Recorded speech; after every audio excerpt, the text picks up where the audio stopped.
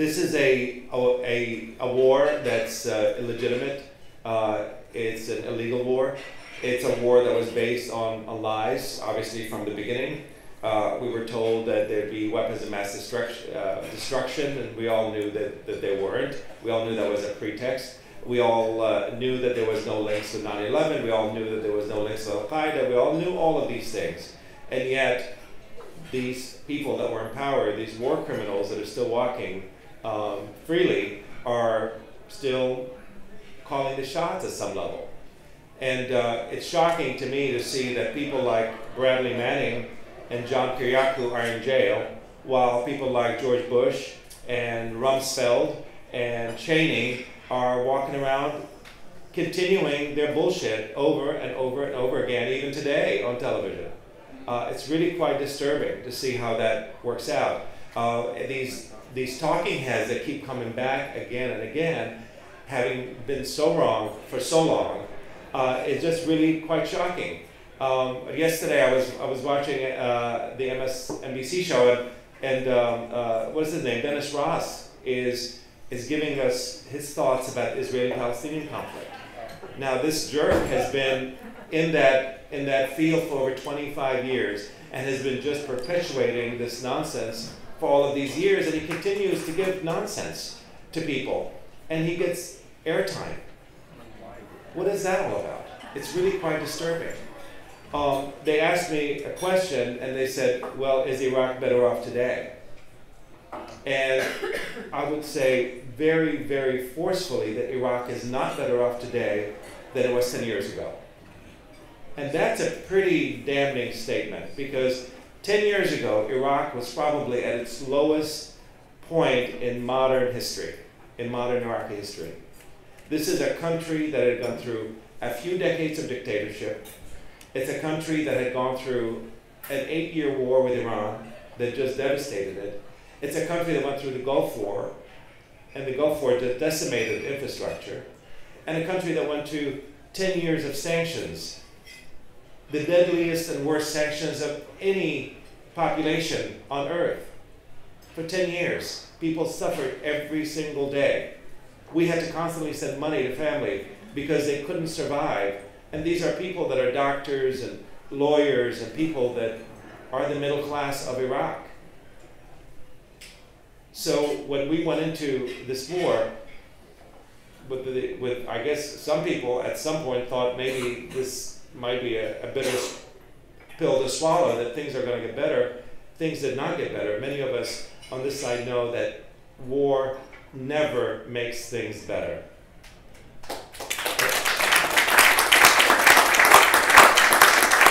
And as we, as we talk about sanctions, the sanctions are the equivalent of carpet bombing. They are there to destroy the population. The government doesn't get destroyed, the population gets destroyed whenever there's sanctions. So as these talking heads again get up and so casually say, well, no, we shouldn't attack Iran right now. We should just impose sanctions and strengthen them. My wife happens to be Iranian, and we have relatives in Iran as well. And they tell us what the sanctions do. They don't weaken the government. They only weaken the most vulnerable women, children, the poor. The middle class has been, in Iraq, for instance, has been completely decimated. Everyone has left who's able to leave. Really, everyone who's able to leave. I can tell you, of all my relatives, the only people that are still behind are the people that had no other choice. Either they had a medical practice maybe that they had to stay back there and they couldn't really find any other alternatives anywhere else, or they were too elderly to be able to leave. Those are the people that are still left behind. So the situation has only gotten worse. There are over 3 million internally displaced people. These are people that have no homes to go to, that have to live in shelters sometimes. Those are the most vulnerable again. People that don't have a roof over their head, that don't have any security, that don't have food, that don't have sor- resources and sources of, of things that make any human being live. People are not interested in democracy unless they have something to eat.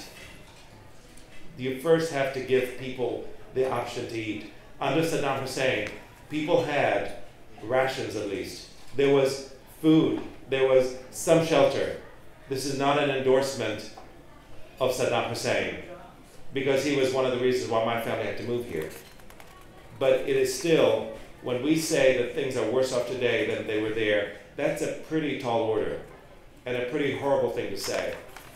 There are over a million people outside of, in the surrounding um, countryside of Iraq. Many of them are in Amman, Jordan. Many of them were in Syria. And now with the Syrian civil war, many of them have, have been even displaced one more time, staying in refugee camps.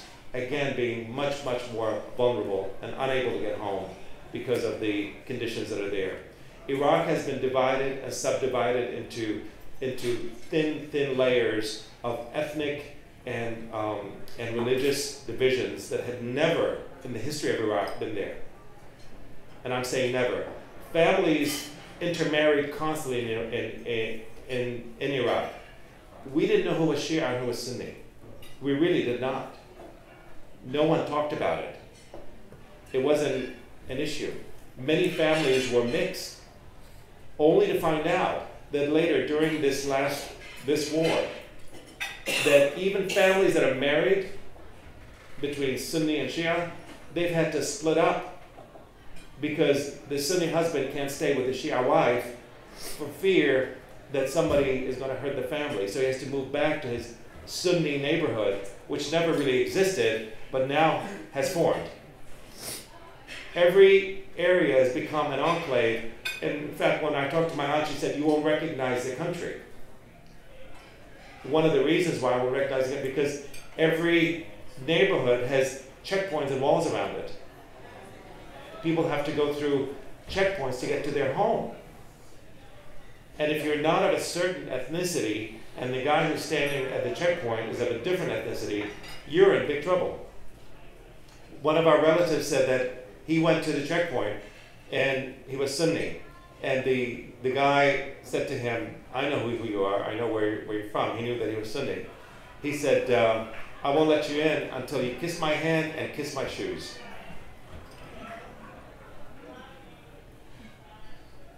So it's, it's that type of stuff, the constant humiliation that people have to go through, the constant struggle they have to go through just to get by on their day to day life. There's food now in Iraq but food is very expensive. It's very hard for the average family to be able to buy food from the grocery stores in Iraq.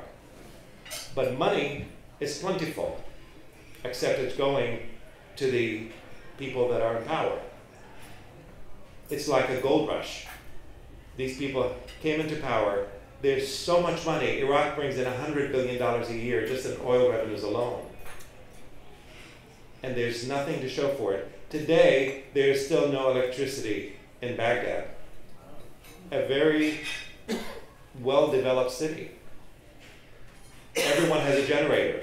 When we talk to my aunt, you hear the whirring of the generators in the background.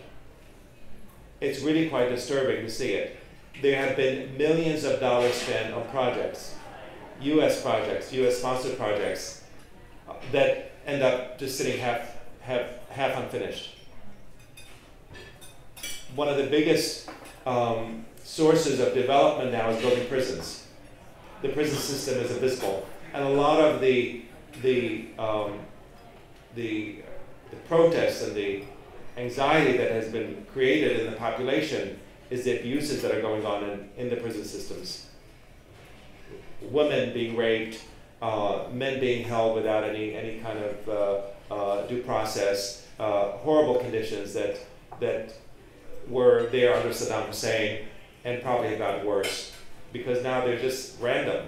They're not even for political reasons or specific, but really just random things just to humiliate and upset a population.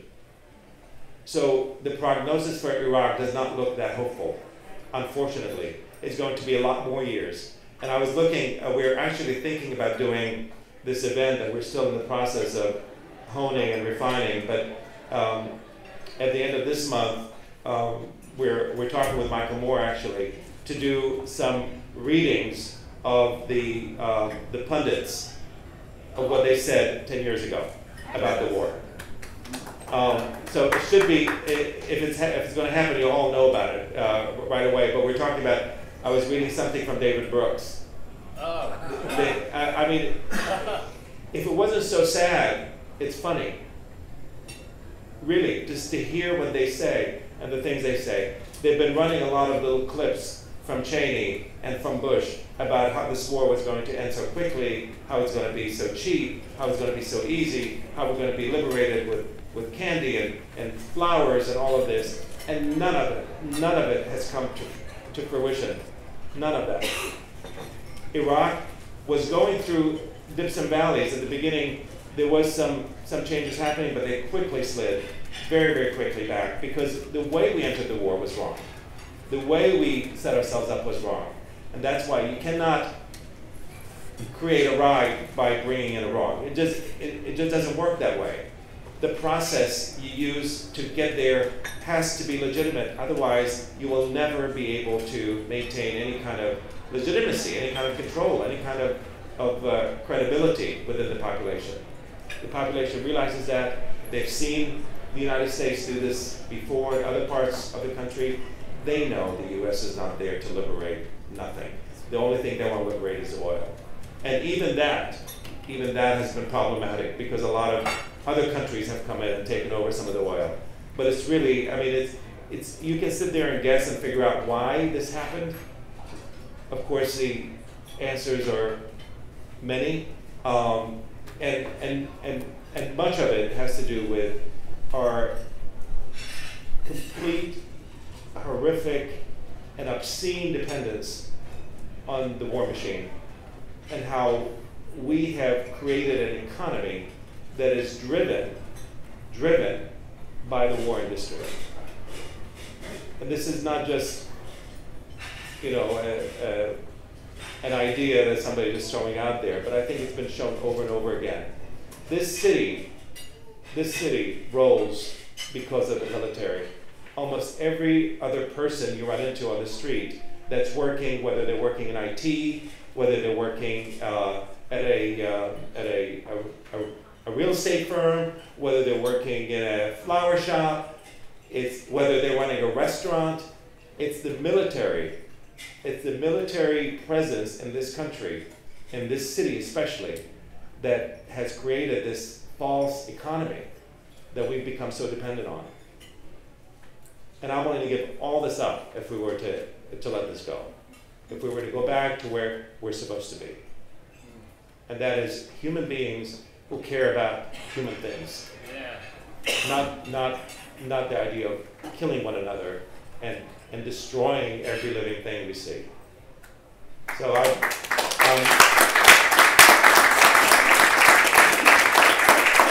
so I feel, I feel actually very hopeful being here today. Um, it just happens my birthday is March 21st. Um, and um, I remember watching the invasion of Iraq um, the day before and just watched it and said, what a birthday. what, a, what a horrible, horrible thing to see.